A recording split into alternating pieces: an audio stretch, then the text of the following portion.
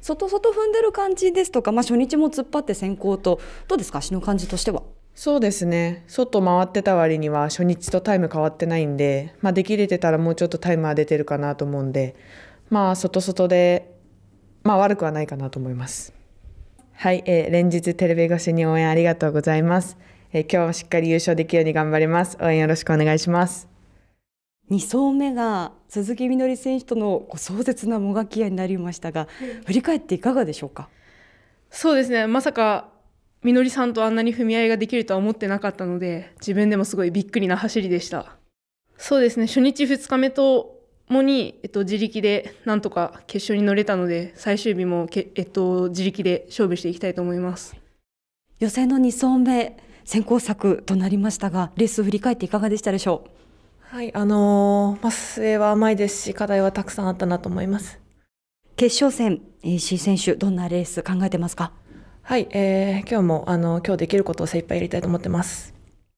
改めてこの2走してのご自身の状態というのはどう見ますか？と状態はとてもいいので、と本番あ決勝戦でも一生懸命いい着が狙えたらいいなと思ってます。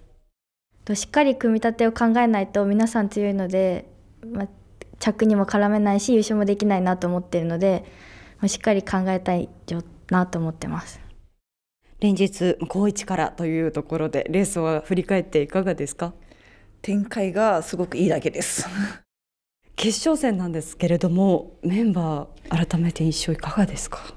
まあ前々にいないと勝負できないなっていう感じはあります。こう2走してはご自身調子としてどうですか？改めてそうですね。悪くないと思います。決勝戦ですが中西選手どう戦いますか？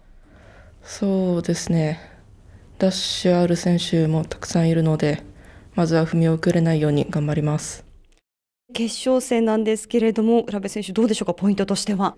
大外なんでちょっとまあスタートは見つつまあ取れた位置からもう一回組み直してっていうふうには考えてます。では最後に決勝戦に向けてファンの皆様にメッセージをお願いしますあ久しぶりに決勝乗れたんで、一生懸命走りたいと思います。応援よろしくお願いします。